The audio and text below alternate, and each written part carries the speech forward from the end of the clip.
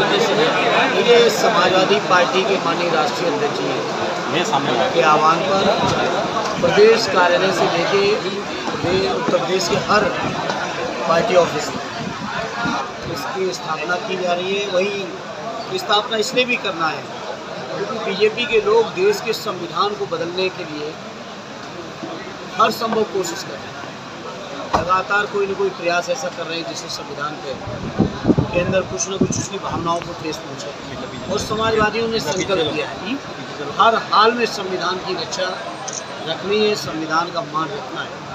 और उसी के प्रतीक स्वरूप हर पार्टी कार्यालय में ये संविधान मान स्तंभ की स्थापना है सर विजन की जो रिपोर्ट आई सरकार को गंभीरता से नहीं ले रही है विपक्ष हमलावर है क्या कहेंगे? देखिए सरकार को लगता है कि उसके हित का जो काम नहीं उसको गंभीरता से नहीं। इसी तरह से बहुत सारे मुद्दे पर सरकार चाहती है चीज़ें डाइल्यूट हो जाएँ, लेकिन विपक्ष बहुत मजबूती के साथ उभरा है इस चुनाव में। जनता ने व्यापक आशीर्वाद दिया है और संसद के सत्र की कार्रवाई देख के आपको एहसास हो गया होगा कि अब सरकार की मनमर्जी चलने वाली नहीं है। जनहित के जो मुद्दे हैं, उन मुद्दों को मजबूती से विपक्ष न केवल उठा रहा है, बल्कि सरकार को भी बैकवर्ड पे आना ही पड़ रहा है।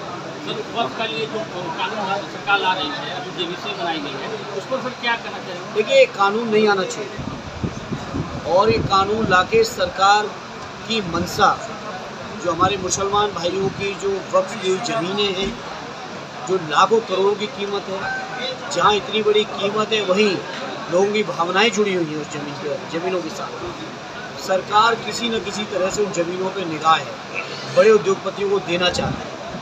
लेकिन समाजवादी पार्टी से सभी विपक्ष के लोगों के दबाव में आकर उनको जेपीसी गठित करनी पड़ी। इस कानून को हम लोग पास नहीं होंगे। वक्त अयोध्या के बाद कन्नौज में समाजवादी पार्टी के नेता का नाम में आया है तो क्या सरकार एक साजिश की तरह फंसाना चाह रही है क्या? नहीं नहीं सरकार की कोशिशें तो जो है वो सामने ही है। लेकिन समाजवादी लोग इस तरह की कोई घटना में न सम्मिलित थे न है। लगातार राष्ट्रीय अध्यक्ष नार्को टेस्ट की मांग की आपके नार्को टेस्ट करें आपके डीएनए टेस्ट की मांग की तो भी सरकार ने मांगी। तो नवाब सिंह को पार्टी अधिकारी हमारे कोलकाता नहीं नहीं थे। कई सालों से नहीं थे। तो सर जिस तरह से कोलकाता में घटना हुई महिला डॉक्टर के साथ रेप के हत्या कर दी देखिए इस तरह कहीं घटनाएँ नहीं होनी चाहिए। कोई भी घटना हो उसकी निंदा होनी चाहिए।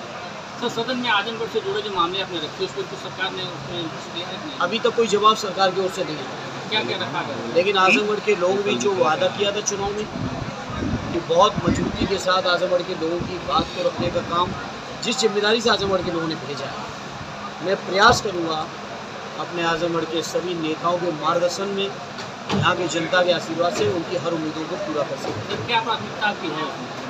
लगातार हर तरह की मांग है कोई प्राथमिकता की कोई एक सवाल नहीं है रेल की बारे में क्या क्या नहीं कहा पिछले सांसद ने यहाँ पर।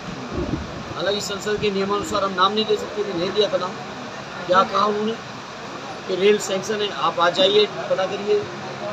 एक रुपया सेंक्शन नहीं, इस बात को मैंने सदन में भी कहा। और अगर सेंक्शन था तो सरकार का जवाब क्यों नहीं आया?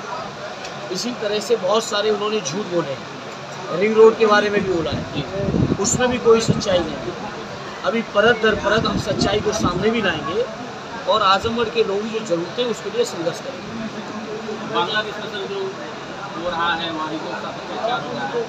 हमारे राष्ट्रीय सचिव ने कहा है किसी के साथ भी अन्याय नहीं होना चाहिए। किसी के साथ भी अन्याय नहीं ठीक। है